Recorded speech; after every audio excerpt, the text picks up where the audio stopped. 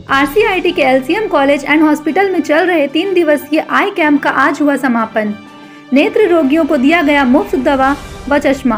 विश्रामपुर पलामू जिला ब्यूरो लव कुश कुमार सिंह की रिपोर्ट। विश्रामपुर के आरसीआईटी परिसर में स्थित Lakshmi Chandravanshi medical college and hospital में चल रहे तीन दिवसीय मेगा नेत्र चिकित्सा शिविर का समापन सोमवार को हुआ, जहाँ 200 नेत्र रोगियों के बीच मुफ़्त दवा व चश्मा का वितरण कर उन्हें सम्मान पूर्वक विदाई दी गई।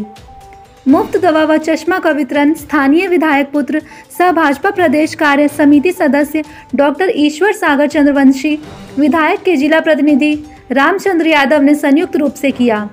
यहाँ उल्लेखनीय है कि रामचंद्र चंद्रवंशी वेलफेयर ट्रस्ट द्वारा आरसीआईटी परिसर में स्थित Lakshmi Chandravanshi medical college and hospital में हर वर्ष मेघा नेत्र चिकित्सा शिविर का आयोजन कर 200 नेत्र रोगियों का जांचोपरांत अत्याधुनिक फेको पद्धति से लेंस प्रत्यारोपण किया जाता है। साथ ही सभी को मुफ़्त दवा व चश्मा का भी वितरण किया गया। मौके पर आरसीआईटी के उप निर्देशक अनुराग चंद्रवंशी, मनीषा चंद्रवंशी, इद्रीश हवारी, भाजपा नेता नंद देव यादव, संजय चंद्रवंशी, असलम बहादुर सहित कई लोग मौजूद थे।